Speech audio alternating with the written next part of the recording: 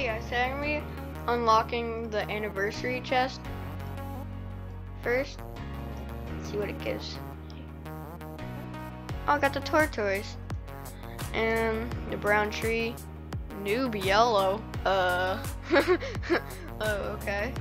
Uh, yeah. Let's see. What the tortoise gives me. 350 gold per second and 5,000 selling value. Let's go get the tree. Where is it? Oh. Oh, uh. Okay, I guess it's not decoration. I guess not. Um, maybe it's a tour.